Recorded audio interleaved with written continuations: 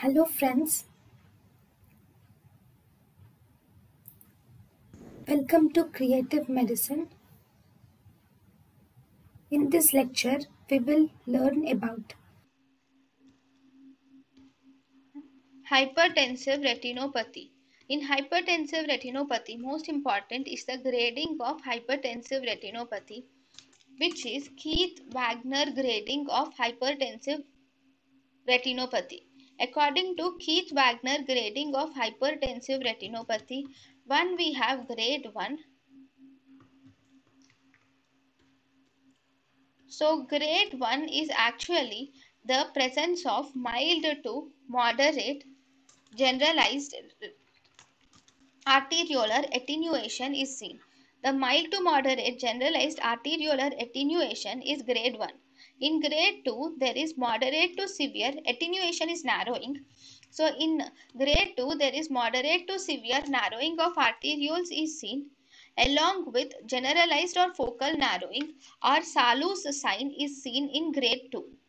Okay, in grade 2, actually, number 1, there is generalized or focal narrowing of arterioles is seen like this and there is Salus sign. What is this Salus sign? Salus sign is actually if this is the artery at the AV crossing that is at the arteriovenous crossing there is reflection is seen exactly at the arteriovenous crossing in Salus sign that is grade 2.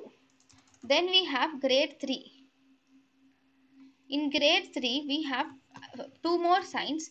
In grade 3 we have number 1 Bonnet sign where there is banking of veins are seen and Gunn's sign where there is tapering of veins are seen on either sides of crossing. So this is the AV crossing. After the AV crossing on either sides you will see the tapering of waves are seen in Gunn's sign. This is after the AV crossing there is tapering of veins is seen and Bonnet sign you see banking of veins are seen along with hemorrhages, cotton wool spots and retinal edema can occur in grade 3 hypertensive retinopathy. Then we have grade 4 hypertensive retinopathy. In grade 4 hypertensive retinopathy, we have all the changes of grade 3 along with silver wiring of arterioles. Disc swelling is seen which is papilledema is seen with macular star appearance is seen in the grade 4. So in the grade 4 actually you will see that there is presence of the macular star is seen which looks like this. So this is actually the macular star appearance in the grade 4. Okay, then these are actually the reflection of arterioles are seen in the sign, in this sign. So these are the grades of hypertensive retinopathy by Keith Wagner grading. Thank you and thank you for watching.